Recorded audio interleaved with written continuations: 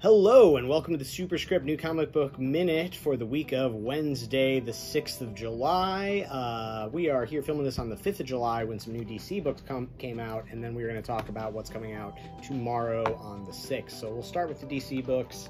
Um, I have absolutely no idea what to expect out of the Black Adam movie, so I'm going to read the. You'll expect The Rock. Yeah, I mean, other than that, looks very much like The Rock. Uh, so these uh, Justice Society files, Hawkman number one, is a series of one shots that are an official prelude to the movie. So I'm going to get caught up on that. So I have some level of expectation for what that film is, other than The Rock being charismatic and you know fun.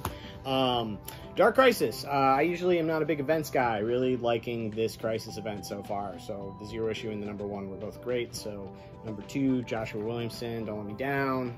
Excited, liking the idea of the new Justice League. Um, probably the thing I am most excited for, as far as like mainstream superhero comics are concerned, this week we have Batman. This is Batman issue 125, but I am very excited about it because it's a new creative team. We have Menez and the one, the only Chip Zdarsky writing Batman. If you've been enjoying his Daredevil run, I think it's time you start reading Batman. But Or some of his other Batman. yeah, other his other Batman stuff, the Urban Legend stuff he's read. It's mm-hmm. Chip Zdarsky. He's one of, you know, the Now he's on main Batman. Credit to the industry as a whole. Yeah, very uh, very excited to read what he's doing with Batman, and just excited to be back on mainline Batman again. I'd kind of fallen off of it uh, after towards the end of Tynion's run, so I'm, I'm I'm ready for Batman back in my life. And then finally, we have one trade from DC that I want to call it this week: the Suicide Squad uh, Get Joker. This was a Black Label book by Brian Arzello, uh, and, and I never pronounce his name the same way twice, but uh, it was good. Check it out uh, now in har beautiful hardcover. Uh, and then moving on to books that are going to be out on Wednesday the 6th. Um, I'll just keep going here. Um, this is uh, we have Absolution. This is a new AWA book. Uh, if you can't tell by the cover, it's a cyberpunk book uh, with this loving homage to Blade Runner on the front. And AWA puts out some really rad stuff. Uh, this looks great. I am excited to check it out. I always am a sucker for cyberpunk stuff. Skottie Young, Kyle, Kyle Strahm, uh, Twig. The first two issues have been just like one of the most fun books I've read in a long time. Uh, Real Hero's Journey with some of the best art I've ever seen. Um, yeah, and it's not even Skottie Young drawing, which is, is saying something. Uh, but yeah, so this is definitely worth checking out. I think think we still have some copies of issue one and definitely some copies of issue two on the shelf. I think this is going to be a special thing in comics that you're going to want to have been along for the ride on. So if you aren't aren't picking up yet, definitely start. And if you got kids, this is like they should be reading this.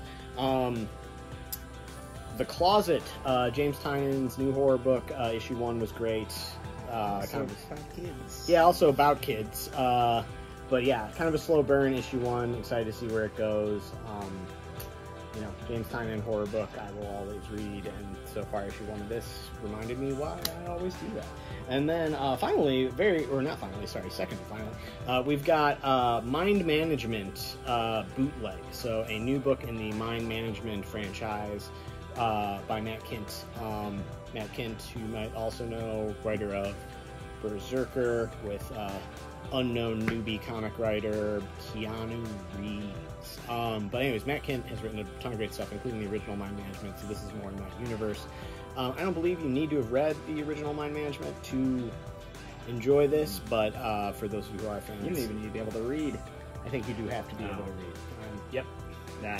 can Sorry. verify reading required. Um, but uh, speaking of things you need to be able to read, probably should read, uh, I am really, really stoked for Liam Sharp's Starhenge. So this is like a sweeping science fantasy epic.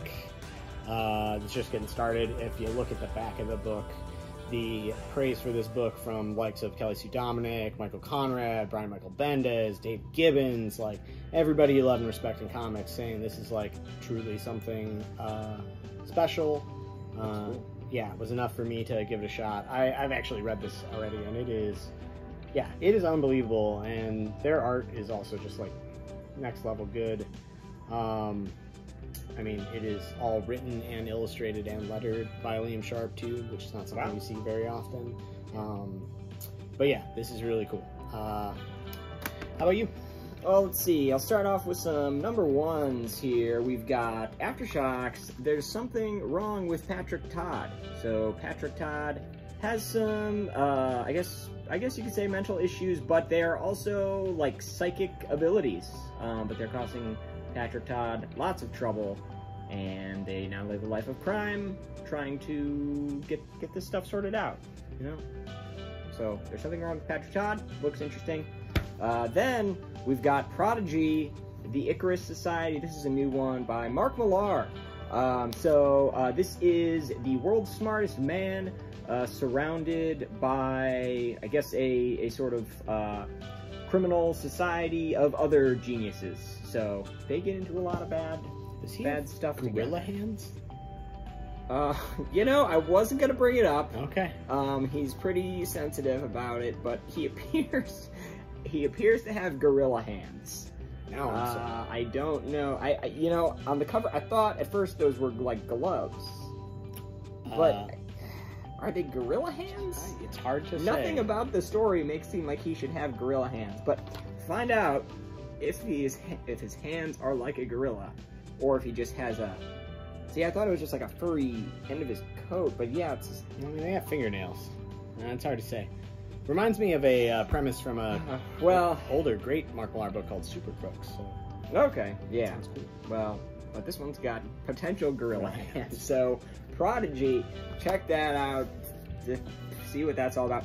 Then, a new one from Ablaze. We've got Promethe 1313.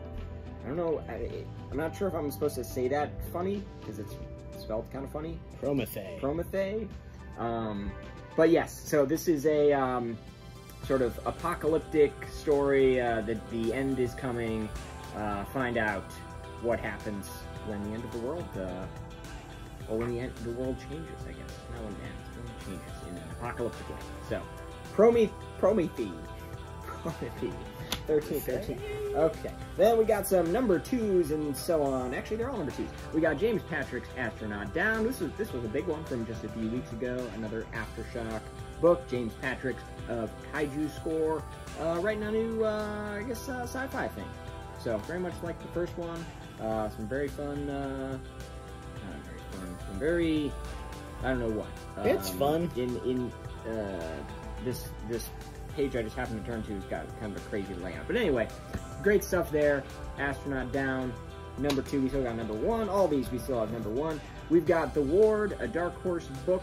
Um, this one is a um, emergency uh, ward in a I don't know is that what it's called um, in a in a hospital for um, like monsters and fantasy creatures and uh, and so on. So, where the Loch Ness monster goes, if you like, you know. yeah, it's sprained his ankle. So, The Ward, if you're looking for some kind of drama like that, but with some fantasy type creatures, The Ward may be for you. Does Loch Ness monster have hands? He does, yeah. Um, then we've got Captain America Sentinel of Liberty. So this is one of the two Captain America books going on right now. Um, this one is who's on this? Joe Kelly? Sorry. Uh, Jackson Lanzing Collin and Collin Kelly. Okay. So thought it might be Joe Kelly. It's a different Kelly, but anyway, Captain America. both of these have been uh, this one and uh, Symbol of Truth have, have both been really good. So Yeah. if you're looking for some new Captain America series, both of those are um, still early on in their runs. Um, then we've got Jane Foster and the Mighty Thor, number two, once again, just in time for whenever that new movie comes out. So brush up on some some Thor and some Jane Foster here with that. And then DC's uh, Poison Ivy. Finally, long overdue, getting her own book in a while. Uh, G. Willow Wilson on this one. So, very exciting. Uh, excellent uh, art in this one. Um, if you're looking for some Poison Ivy, everyone loves Poison Ivy. But she's always kind of, you know, playing second string to someone. Now she's got her own book. And it's called Poison. I love So G. Will. Wilson. I'm Yeah. excited about it. So those. Oh, and then one last one.